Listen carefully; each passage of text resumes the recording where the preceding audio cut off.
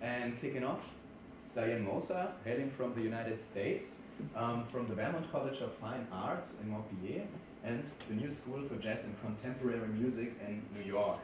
And as far as I know, you already had the chance to experience her piece um, as part of this conference. Um, so today uh, she will give a lecture, a performance on exactly that piece, Bird Songs, and she will um, ask question how music can engage, teach, and transform the general public's view of acoustic ecology and ecological awareness. So have fun, and now it's your turn. Okay, thank you very much for that wonderful introduction. So thanks everybody for being here today.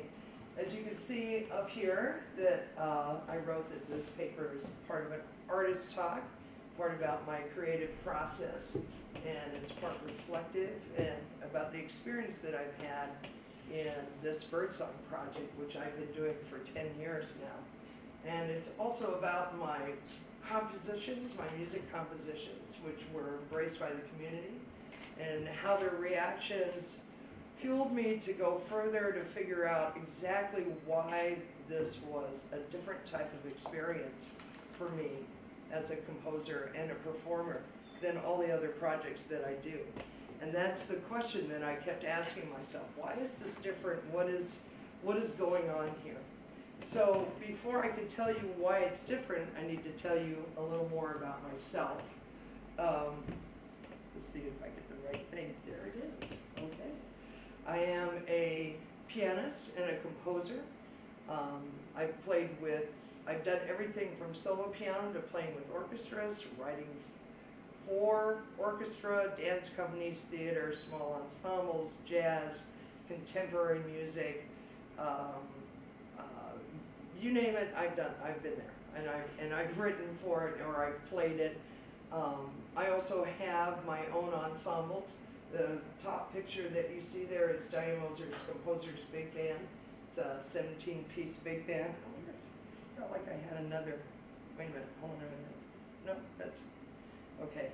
It's a 17-piece big band that I formed uh, in 1997 with the idea of developing and presenting new music for big band. So it's not Glenn Miller, it's not Tommy Dorsey, it's not uh, your typical, it's not Count Basie, it's, it's new music for big band. I've brought in over 100 composers and performers, and we're celebrating our 21st year in doing this. And we used to work like every, every month. I used to produce concerts every month to do this. So to say that I've worked with a wide range of composers would be an understatement for that.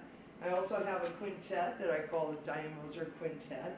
Um, my last, which features Ben from left to right, Ben Williams, uh, trombonist Gerry Hemingway, drummer who now lives in Switzerland. Uh, there's me, and then Marty Ehrlich, who on the recording plays alto and clarinet, and Mark Dresser, who I've been working, bassist, who I've been working with since 1978, so 40 years we've been working together. Uh, Gerry I've known for 39 years, Marty I think 38, 37, Ben only 20-something years. So, long association with those guys. The uh, last album that I put out with them, or that I, that I, that I wrote and produced, uh, was a commission from an organization in America called Chamber Music America, which you apply to get a grant to write for your ensemble in the in their jazz category. So they gave me the money, and I wrote a piece based on James Thurber's book, The Last Flower.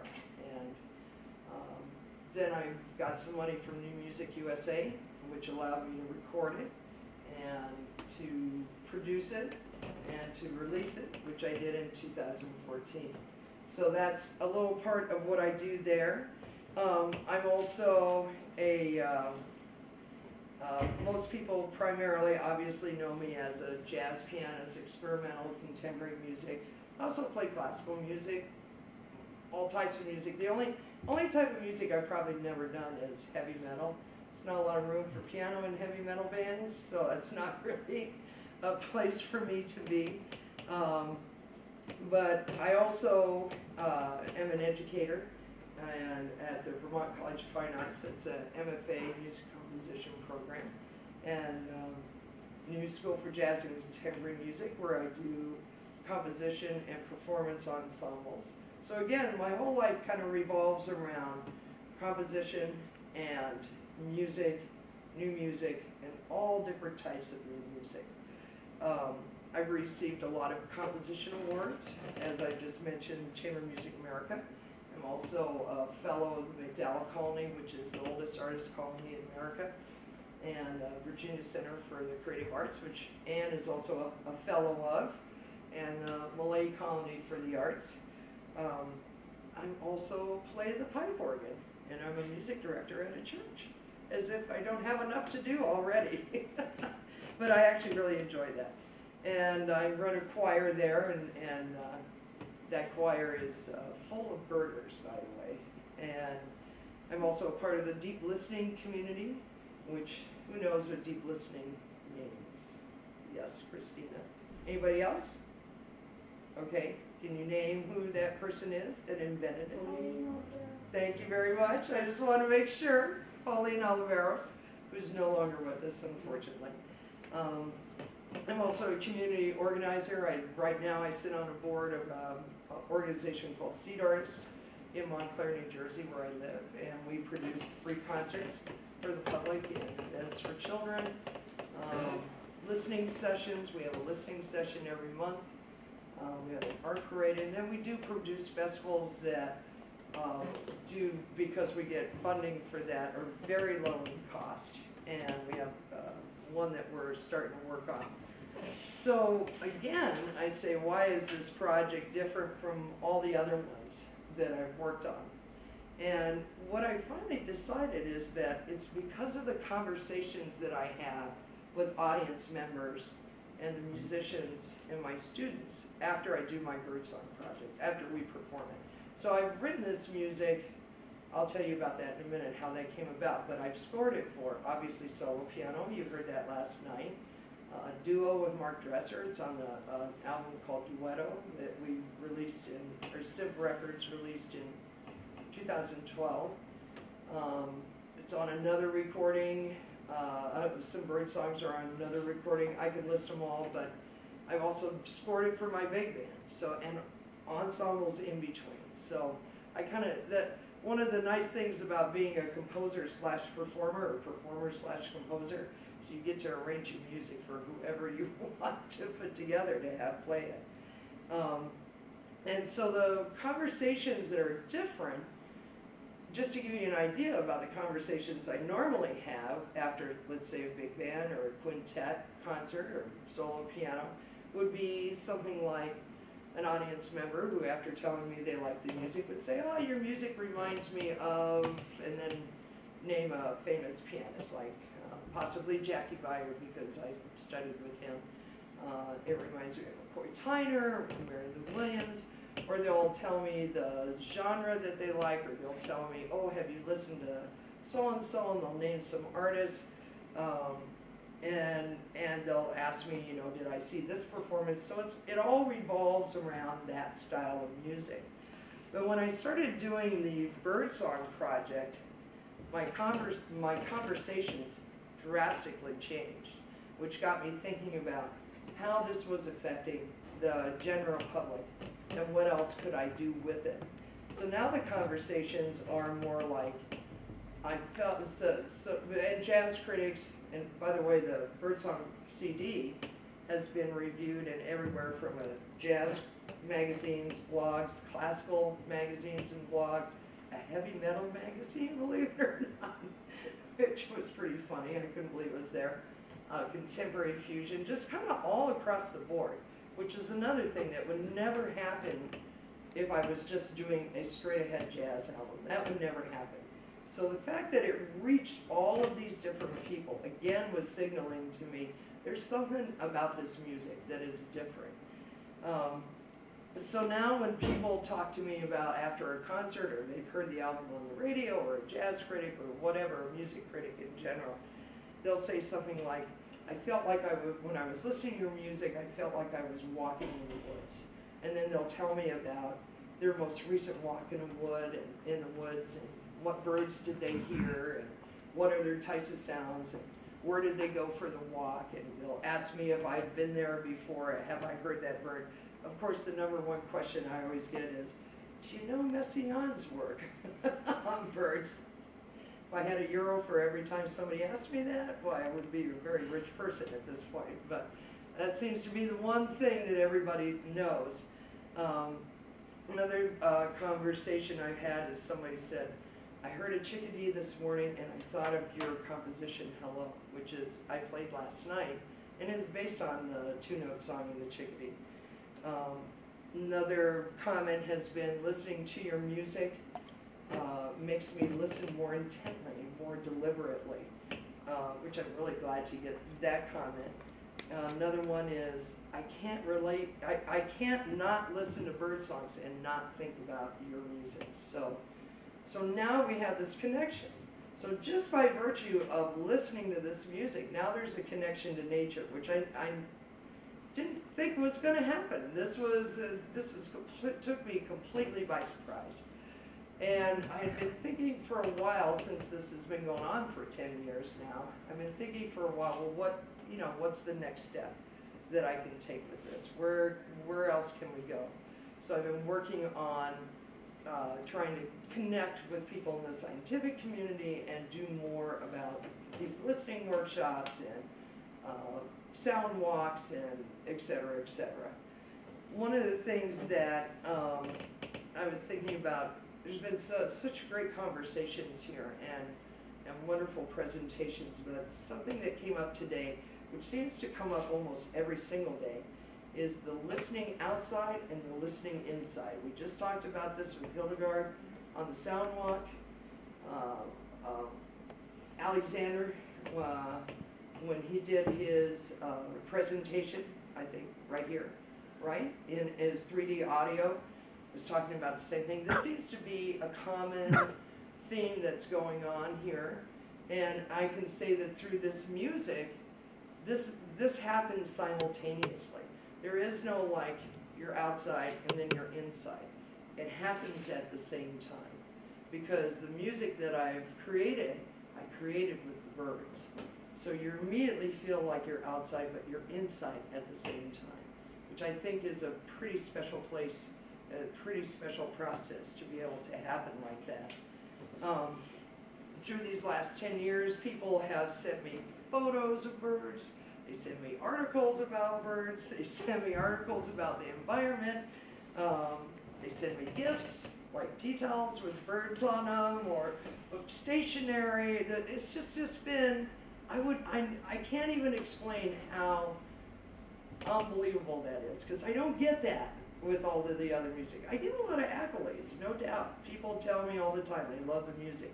But to go in this direction, I never planned on this. This was not my intention. It just happened to be who I am and what I wanted to create. It's, it's a result of that, which is the reason why I came up with the title that I came up about music being able to teach and engage and transform the general public's view about acoustic ecology and ecological awareness because those are the conversations we're having now. Um, musicians have told me that when they hear the concert, they'll tell me afterwards that uh, instead of listening to it as a jazz concert, they put all of those frames and references aside.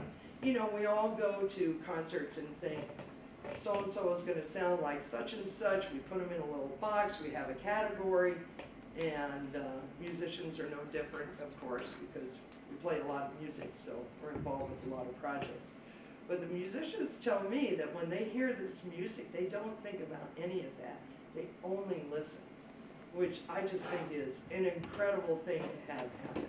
And that, again, that's not something that normally happens in the rest of the jazz world, or the contemporary jazz world, or even the avant-garde jazz world.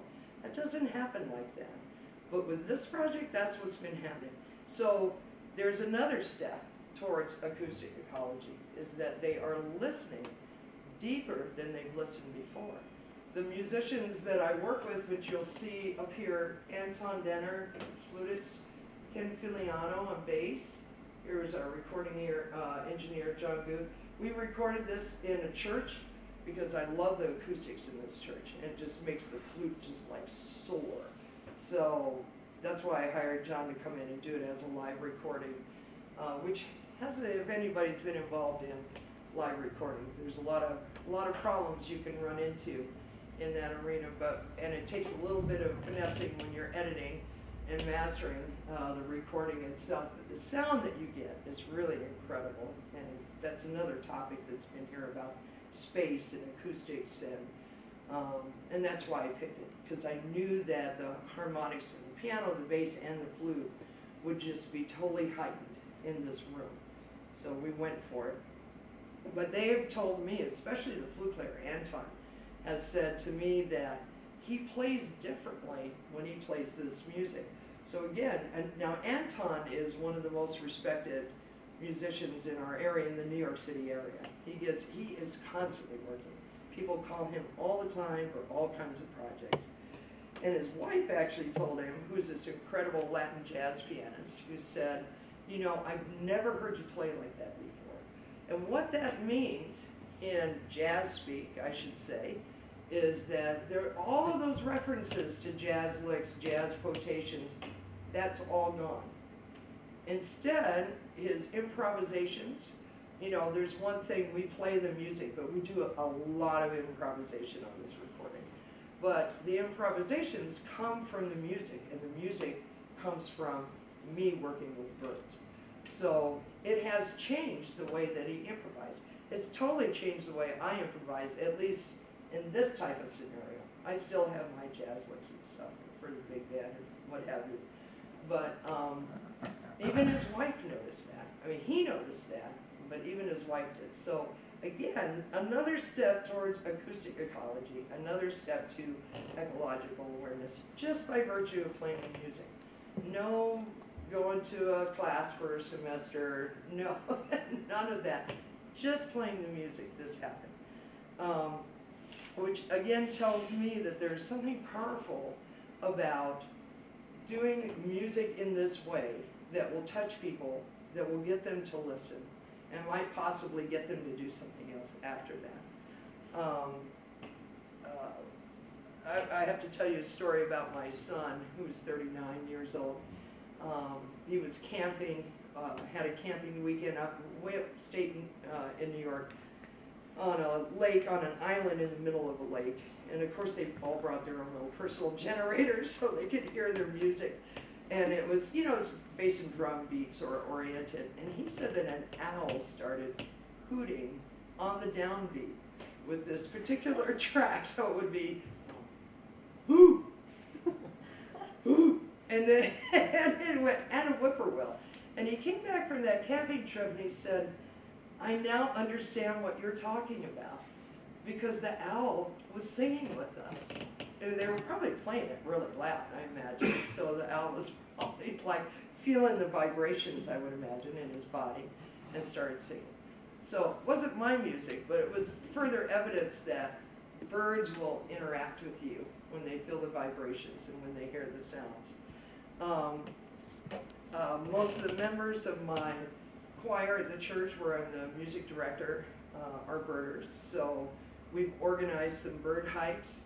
Uh, we're going to start doing some deep listening workshops together. Um, all, again, because of this project, because they know what I'm doing. They've come to my uh, concerts. Uh, so again, another step towards acoustic ecology after I give, uh, after I play this for people and, and in my teaching life, when I give workshops on deep listening and uh, the history of R. Schaefer Schafer, the methodology, his music. If you haven't checked out his music, I know we've had a lot of conversations about this here. Some people only know him about the tuning of the world, and some people know a little bit about his music, but I, I urge you to go and listen to his music, which if you go on the Canadian Music Center website, just set up an account, it's free, and you go to his profile, there's a ton of MP3s on there, and you can hear lots of his music. I highly recommend the string quartets, and I think they've been playing them in the lunchroom, is my guess. That's, that's when I hear it, that's what it reminds me of. Um, but after I've lectured my students about bird songs, R. Murray Schafer, Hildegard, uh, acoustic ecology, et cetera, et cetera, it sparks something in them they compose using that methodology. They'll go out in the woods, they'll record bird songs, etc., cetera, et cetera. So again, another step towards acoustic ecology, environment, just through the music, just through the, the act of composing and the, the act of listening, the act of learning about composers who use them, which I also give a lecture on, bird songs and the composers who use them. So as I said in the very beginning, these are very different conversations for me. And this is why, uh, I mean, it's not a different conversation when I talk to birders, although bird people tend to have a different category of music that they listen to. But it's a different conversation than what I normally have with my audience members or my musicians or students. When we start talking about the bird songs, that's when all of this comes to light. So this is what gave me the idea about this in the first place. Um,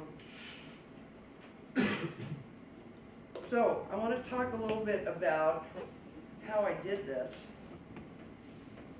which is in that cabin in the woods. This is the uh, cabin, a studio at the MacDowell Colony. Um, it started in, I'm going to say 1907, I believe. Uh, there are, I don't remember how many acres, it's a lot of property. And there are 20 something of these type, not looking exactly like that, but studios in the woods, all over. So it's for composers, visual artists, sculptors, writers. Um, I was just up there in August for uh, uh, their Medal Day, and uh, um, hadn't been there for a while, so it was really nice to revisit. And actually, they've redone that cottage, but this is where I lived for five weeks. And and you'll see in this picture, this is the inside of the studio. This is a Mason Hamlin Grand, and you can't really see this, but there's a micro VR over here, mm-hmm. and I would take a microphone and put it in that window, and just because I didn't really have any way to do isolation, put the curtain over the microphone. I figured it was better than nothing, and put the you know put in the headphones so I could really hear the birds outside. And then as they sang, I would improvise with them. And I did this every day for five weeks for about four or five, six hours a day. Not, not in one long stretch, you know, a couple hours, have some lunch, a couple more hours, have some dinner, trying to get the nighttime birds. Um, and this was my process. Here's the, another side of the, of the studio where I'm looking out at the woods there. And so I do escape, and then I go over here, let's see if this thing pops up. So mm-hmm. what I brought was a recording, one of the original recordings that I did in the studio. And this, originally I called this Me and the Chickadees, and now it's called Hello. So this is the one that's based on the chickadees. I gotta warn you, it's gonna be very hissy, because I haven't done any noise reduction on it at all. When I, I have to add that, so all of these recordings that I did, I transcribed the music. Some of it, a lot of it note for note, uh, some of it just the basic mm, ideas. Uh, it just depended on what the improvisation was. And I would spend the evenings listening to this music over and over and over and over and say, okay, this part I think is a real composition right here. So all of this music is born out of improvising with the birds and the birds improvising with me. This one, we'll see how it sounds on the sound system. Oh.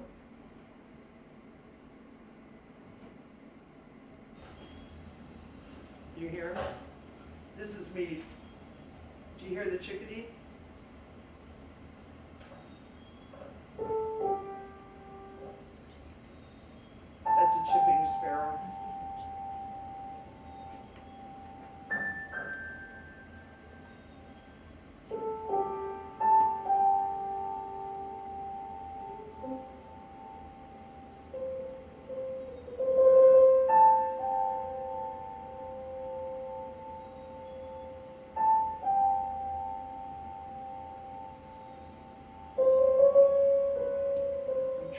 I'm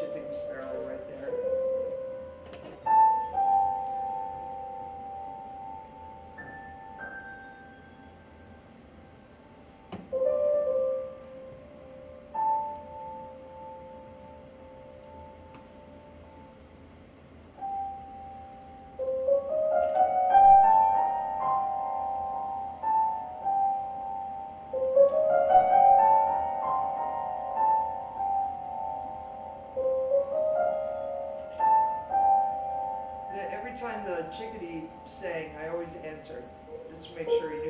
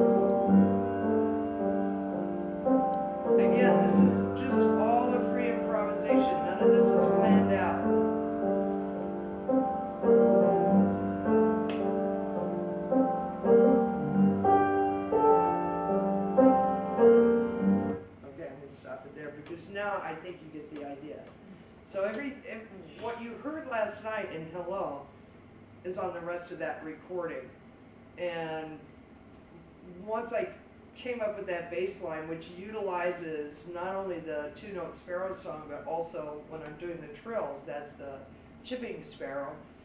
I don't know, the melody just came to me and I just took it off from there. I just went with it. And the birds continued to sing with me the whole time. And sometimes the wind would blow through, and so that's why I'm like doing arpeggios and, and et cetera, et cetera. So, unlike most other composers, and I'm not really, maybe you guys can tell me differently, most people like, they'll go do, like Messiaen, for example. He went out, he was an ornithologist and had perfect pitch. And he would go out and just like write down the bird songs, come back, put it all together. And a lot of times his stuff is like note for note, not necessarily thinking about like, okay, where is this harmony going? It was more like he wanted to he wanted to emulate what he had just heard.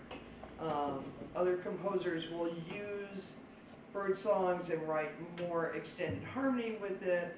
Um, John Luther Adams' latest project was that he wrote out all of these different bird songs to and and gave it, he had musicians, like 20, 40 musicians in a park, and gave them all the slips of paper and said, okay, play whenever you want to play. But the one that he did previous to that, he actually had harmony and structure and stuff. This one I'm doing is with the birds. So I always feel like I have to give them credit because they were my co-creators on this. It wasn't just me. Um, where do I, I go to, is it here? Where, I- to get the big one? No, it's in no. Can I help you? Yeah, yeah. Here.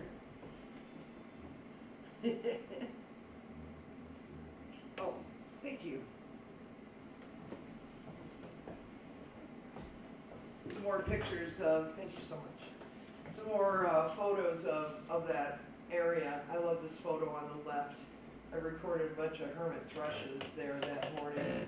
This, that photo on the right was behind my studio. I would go for walks back there. Um, and, and so forth. So, in preparation for coming here, after I proposed this and I wrote everything down, which what's in the book is really a full account of the last 10 years. So I'm, I'm giving you the shortened version of that. But I decided to do this little music and nature survey on Facebook, which I know is not very scientific, but I was really actually more interested just in the, gen because that's my topic, the general public. I didn't need to know demographics, I didn't need to know gender or age or any of that, just generalized. What's the reaction to listening to music that has a nature theme? So I had 79 people that responded. Uh, uh, 77 of them had listened to some type of nature music, probably because they follow me. So you have to keep, that would be the one marker I would say we would have to keep in mind. Um, most of them listened, heard some type of nature theme music that was in the jazz, pop, rock, blues type of vein. Uh, the other half was split between classical, electronic, world music. Uh, and somebody said right up at theater, and, which Ann pointed out to me that was because they do it in nature. And I went, oh, I did, I did not put that together. Do you guys know what bread and puppet is in, in Vermont, in the United States? This is a puppet theater that has puppets this like the size of a second story building, second, third story, like humongous puppets, like bigger than this. And they do workshops in the summertime, and they do big parades, and they do music with it. So I, that must be why that person put that there. Um, when I asked them, uh, uh, listening to this music prompted, did I, listening to the music prompted them to find out more about the specific nature theme. Um, this was interesting because for a while, if the yeses had it, and then all of a sudden the no's started to build up. So 33 said yes, 46 said no.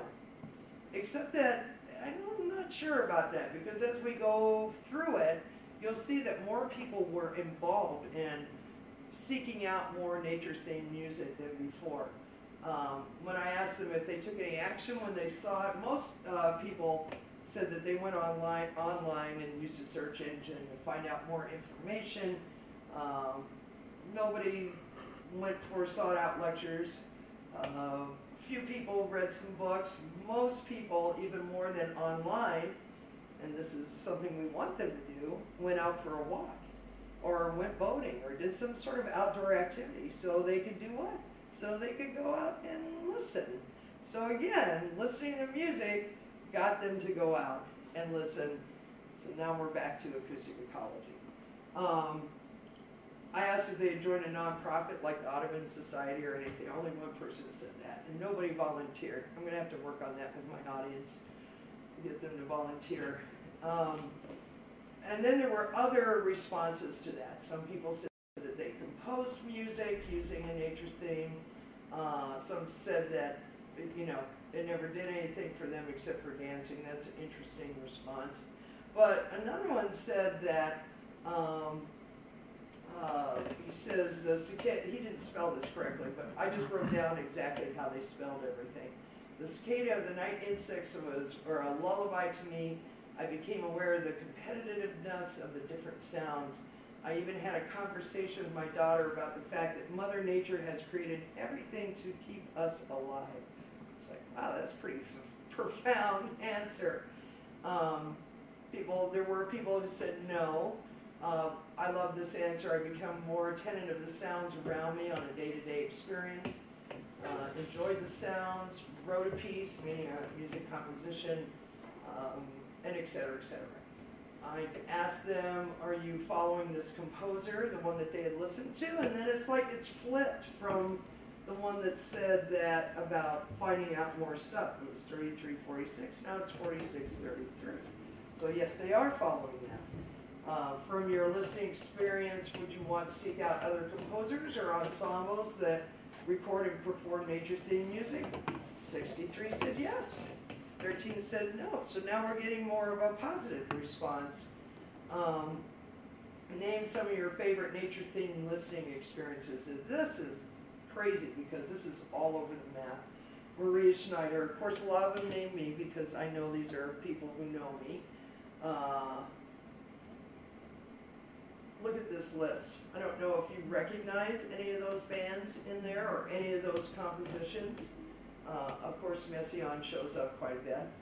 Um, uh, Respighi, Pines in Rome. Uh, Peter and the Wolf, that was an interesting choice. Um, somebody said Bernie Krause. Um, John Cage, Pauline Oliveros. It, it was really all over the map in terms of what people listened to. So again, this is a thing that shows that people are listening to music, and if we want to reach, which seems like to be part of the goal of what Murray Schafer was talking about, and Hildegard Westerkamp and Eric Leonardson in their organizations about getting people to listen. They are listening to music that has a nature theme. And, and it would be a great thing if we could get the composers who are writing for, you know, traditional instruments, together with soundscape composers and electronic composers to join together on all of this, because I think this is a way that we can reach more people to talk about acoustic ecology. Um, I asked them if they learned something new.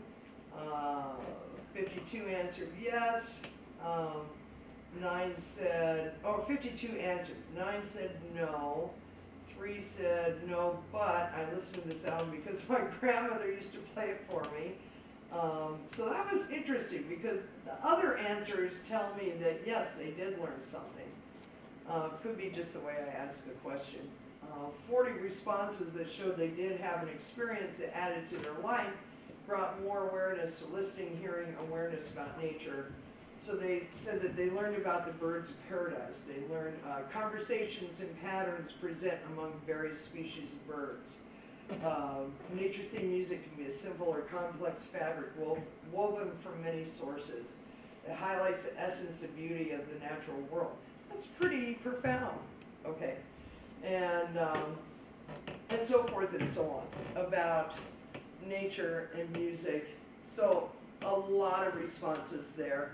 I asked them how important it was. Um, somewhat important got the most, uh, but, and people who are curious, and twenty-six, very important, soothes my soul. So I just think that the power of music, and music, you know, especially in the way that I was doing it, or anybody else, obviously there is a big one with that we can get across to people about the elements of acoustic ecology and ecological awareness through music and help lead people down that path to get them to listen more intently. Thank you very much. So thank you very much, Diane Moser. So um, we really have to uh, highlight what kind of pleasure it is for us to have you here. You're Oh, really working thank at the you. intersection of new music, jazz music, but also acoustic ecology. So that was really interesting. Thank you. Um, I'm, I'm glad to be here. So um, I would be glad to open up the discussion. And I also know that there are some people um, around who are also happening to be um, in love with bird songs. So I'm pretty confident that there will be some um, questions coming from the audience. Does anybody have any questions? About the process or survey or life in general? No, I'm kidding about that. We'd be here for another three weeks. So now you have the chance. Oh, over I there. got a question. Um, so, how do you, so it was very instructive to hear your recording that you made at the MacDowell Colony while you were listening to the birds. You were kind of playing with the bird, right? I'm not kind of, that That was was totally the definitely- goal. Yeah, But so, my goal was to be a member of their band. Right, so, so how do you cons- sort of think about the other stuff that you were doing that wasn't what they were, what you were imitating? So when you weren't doing the imitation or, you know, attempted sort of trying to figure out what they were doing and how you could translate it to Oh, the piano. Yeah, so I that's know what you one thing, right? Yeah. You did that. But then you also had this other stuff, Right. The improvisation. Mm-hmm. So how did you decide to do that kind of improvisation? I mean, if it was me, it would do the same thing. It would have sounded totally different because I'm not a jazz musician, and but I play the piano.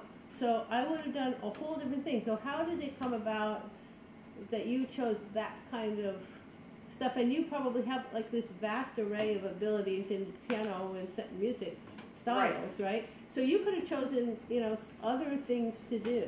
So why did you decide that? Well, I don't think I chose it. Ah, it chose you. Yes.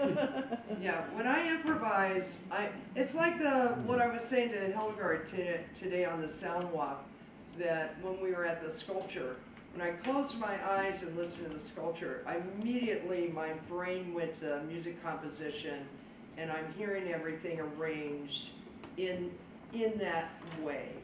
When I opened my eyes, it was all about how they were making the sound. So when I was playing with the birds, I couldn't see them at all because they were outside. I was inside. And most of the time when I improvise, I close my eyes and I just play. So I'm listening to what's going on. That's what came out. I didn't really, I, I had no predetermined idea about it. I didn't really choose anything. And it's because I have a vast array of musical experiences, so I have a lot of language under my fingertips, except for heavy metal. Well, but you've been reviewed by heavy metal. But I was in a heavy So metal you- magazine, how you crazy probably is that? You got that too, and you didn't, just didn't know. I know, I know. But does that, you know, do you understand what I'm saying? Yeah, yeah, Yeah. great. Do they explain why they like it? Was. Yeah, it was pretty, it was pretty deep. He said that, um, it's on my website, it's called Frame, is that, and it, actually that, that review has popped up again in another blog. He writes for Frame, it's out of the UK. He said that, you know, he had been a music critic for, since the age of the typewriter, and that, you know, he can't even count how many music reviews he's done. And then he said that, and then once in a while an album comes through that reminds me why I decided to do this in the first place. And then he wrote this incredible review of the album. And I'm, I'm the only like non-heavy metal thing on that blog. But I guess it just came across his desk somehow and he decided to put it on there. So it's kind of funny. Anybody else? No? Yes? Oh yeah, so when you had finished kind of recording, so you said you did this for hours Yeah. every day. How did you go about cutting it down into like a series? Well, I didn't use this as the recording. Mm-hmm. So, like what you just heard, that was a compositional sketch. So at night, I would listen to what I did during the day, and then I would decide on what I thought was actual melodic material, harmonic material, structural material, stuff where I thought was just like meandering ad nauseum improvisations, like, yeah, we don't need that. And you know, and I never actually erased anything. I would just edit it and put it in another track in case I decided, ah, maybe I'll listen to that again. But I would take all of the parts that I liked and out of one session, not multiple sessions, one session. So you never mix uh, pieces from another day into you it always be No. No, because I kind of am a purist that way.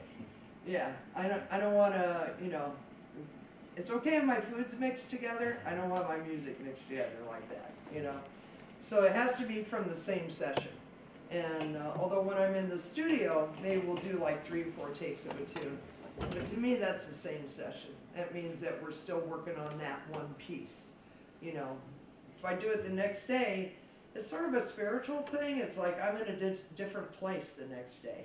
I, I want it to be from the same place that I'm was at at that moment in time. I know that sounds goofy, Mhm. but uh, that's kind of where how I work. Does that make sense? Yeah, yeah. Okay. All right, perfect. Then thank you very much, Thank Diane you. Moser. And probably you will be able to continue your discussions uh, discussions during the dinner time. Yeah. So then it's now time for Ahmed Sheikha coming to the rest rostrum. Ahmed Sheikha is an up-and-coming artist hailing from the Rhine-Main area. He um, happens to be a former student of the Darmstadt University of Applied Sciences, and today he will shed light upon his bachelor's thesis, Waldkindergarten Feature, which um, is a video documentary on um, a certain kindergarten. He will um, also say a few words as he will um, probably would like you to engage with his work and he would like to show you something and he will probably need to put on headphones. But this will, Ahmed will explain this. All right.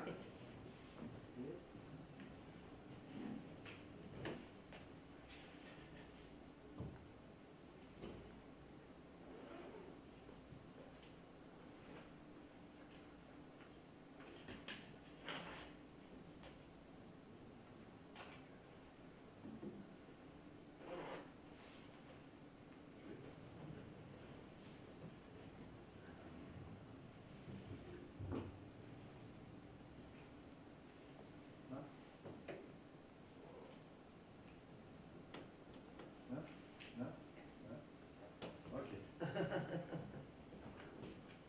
Hi. Yeah, thank you very much. Uh, yeah, I will not uh, explain this uh, multimedia project for me. Last year I did my bachelor project. Uh, this is uh, called uh, Waldkindergarten Feature. And I will uh, bring you close to this project.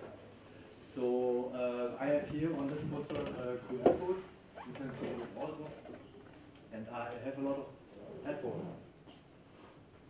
You come with your smartphone, scan the QR code, and listen to the project. Uh, have somebody of you not a smartphone? I yeah. You have not? No, I have a smartphone. You said Everybody has a Okay, smartphone? you don't have one? I don't have one. Oh, what's wrong Everybody with has one? Okay. You cannot connect QR codes? No? Um, for all these people, you cannot scan the QR code. Uh, I offer me to go to the screen uh, after the listening session here, and so we can watch on the screen this project together. But the thing is, this is a multimedia project, and I will not talk a lot, uh, lot about, uh, lot about that project. I will set you her watch and listen this project, and after that we can uh, speak about that. Yeah.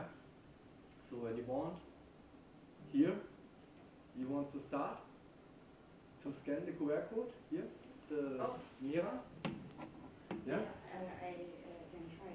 You can try. I, uh, Okay. how does it work? I really, You open the photo session. yeah, You open the photo and just, and just and you do not have to be online? Mm, no. Um, Yeah, well, I mean, you have to have either data or Wi-Fi. one second. Okay. I will try. Like, I have a QR code app. But we can do it simultaneously, right? Yeah, yeah, yeah, yeah. I don't know if that one's dark enough. Here, use that one. Did you take a picture?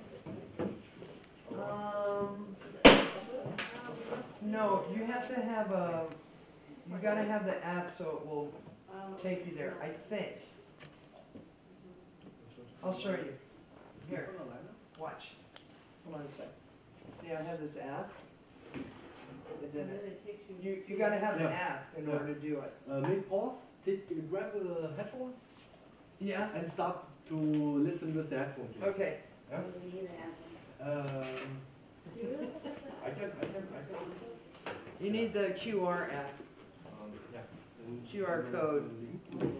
I use this all the time to look for sales. when I'm in the store. Or information on a product. It's very handy. Yeah. You don't need an app. If you have, Yeah, a- if you you have don't a need camera, it. Yeah, like, you don't- but you, uh, you make a picture, right? Yeah, No. I just took a, I just took a picture. And then I, my, maybe my phone app knows Oh, Grab the headphone.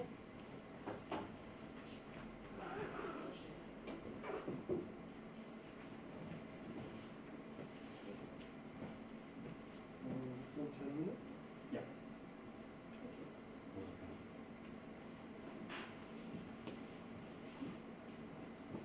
Go ahead.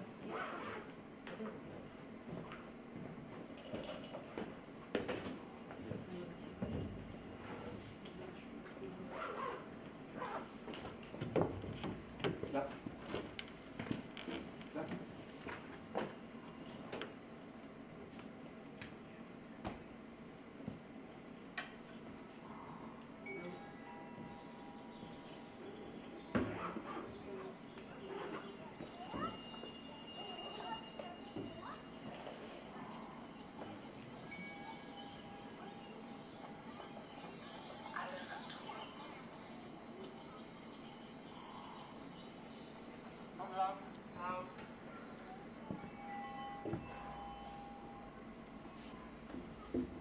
Oh, I love this.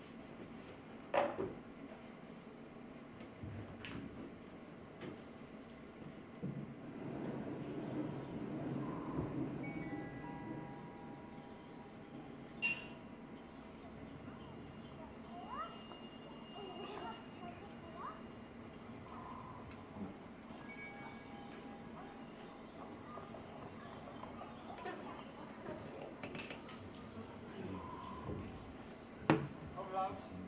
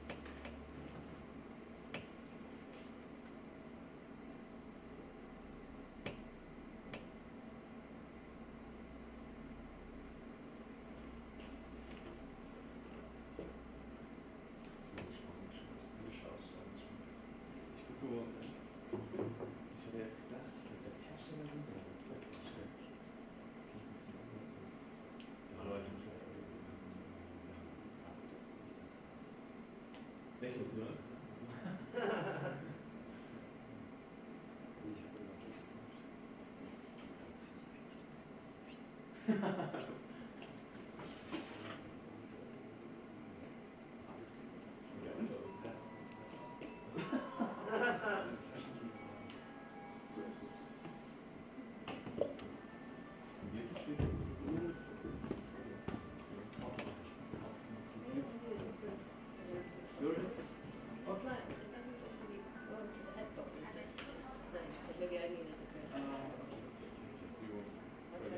It worked for me, actually, yeah, Okay. worked for me. I'm not sure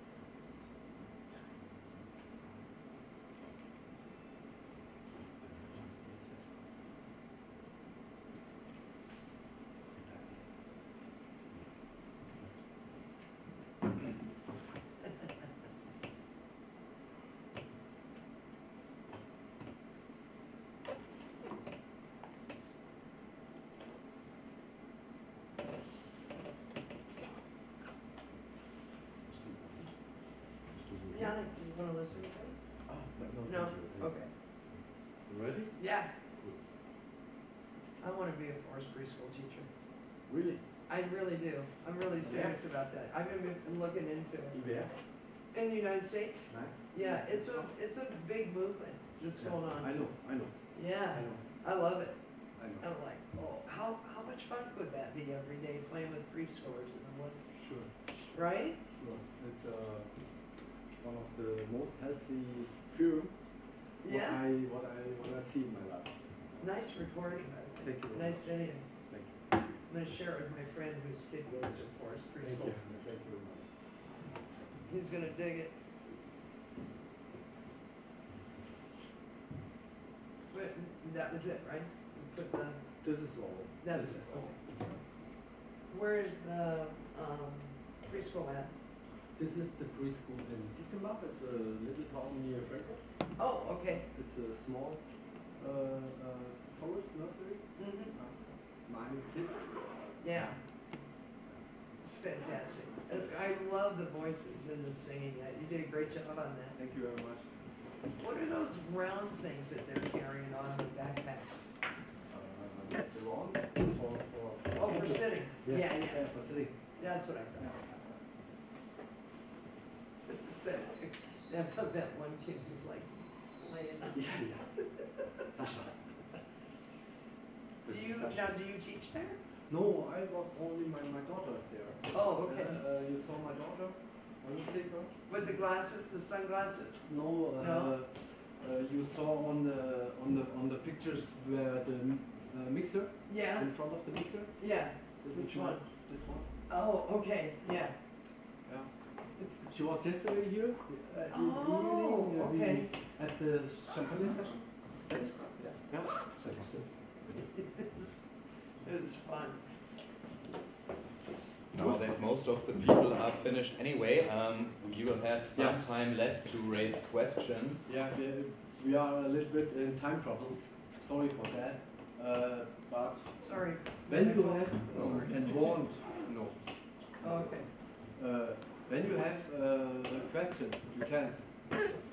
What, what was, is, so your project was to film it, or, I'm not clear on what It was not clear in the beginning. Oh, okay. Um, the the only uh, thinking thing, uh, thinking uh, process was to help this uh, society club, this Oh. club, Yes, for advertisement. Um, Oh, support, yeah.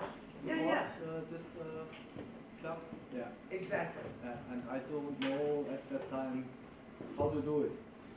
Oh, you did good. I go deep inside to the group. Yeah. I was one of them. Oh, you were? Yeah, uh, three times a week uh, I was completely in the woods with Yeah. the kids and with the educators. And at the weekend I go alone in the woods, Yeah. four, five, six hours. Spend time in the woods, three months now. Yeah.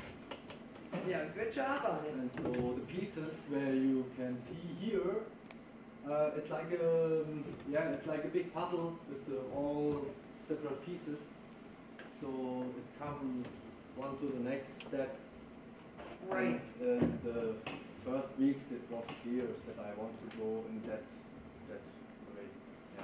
Did, had you enrolled your daughter anyway, or you enrolled your daughter in the preschool because you did this? No, She she, was was, already inside. there? Yeah, Oh, she was inside. Yeah. And she's how old? Five? Four? She's now six and go to school. Okay. Yeah. And, and what was her, uh, what did she say about it? About the preschool? She preschool? liked it and miss it a lot. I bet she does. Yeah. Cause yeah. Now it she's in a room. Uh, we know normal classroom. Yeah.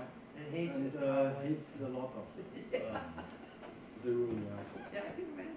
I have also a question. Is Please. there um, a website or something where one could um, experience your work um, Yeah. later? Yeah, you can uh, see a little bit uh, difficult to uh, read it. Uh, www.portrait-music.net, or you can see it on the link where you have on your smartphone, Mhm. my website. Yeah. YouTube channel. Nice job. Is that your first film or you do film regularly? I study here sound and music production. Oh, really? Uh, and I'm a soundie. Yeah. Okay. But uh, at the beginning of the project, it was clear for me I cannot uh, uh, rent a, a cameraman for this job because somebody must leave this place all day long. Yeah. So um, I, I, I did it on my own. Um, I couldn't uh, use stands for the camera because the, everything was very fast. So um, Preschoolers are like that. yeah, yeah. They move So I, I handle it in my own everything, yeah. Yeah. But uh, all the people here you can see from the educators till the children. We have the we have the children here on this on the recording studio here on our campus. I recorded the kids here. Um, every everybody, the parents also involved in this project, and uh, you can see here, for example, these uh, instruments, little instruments, what uh, uh, forest nursery use for the kids um, before they start the meal for quietness. Uh-huh. Uh, I grab the instruments and record them Yeah. and put it into the uh, project. So Oh, nice. Everything is close to the to the cloud. Yeah. Everything. At the end, I, I was one of them, and uh, the kids are at the beginning uh, wondering about me and my camera, and they stand for the lens. What is that? What do you do? So, uh, I, I must change my uh, thinking about that. So I, I played a lot uh, in the first weeks with the kids. Um, and then, so later, you can see me here. I have on my headphones two mics here. Uh, yeah. and the, the camera in the hand, so I can I can go everywhere. Uh, so yeah, we arranged it in the uh, at the time. Yeah. Exactly. Yeah. Nice, nice job. All right. Thank you very much, Ahmed Yeah. Shekhar. Thank you. Then uh, it's my duty to uh, finish the session 45 sharp. Make sure to get some fresh air outside um, these halls, and then in 15 minutes um, there will be.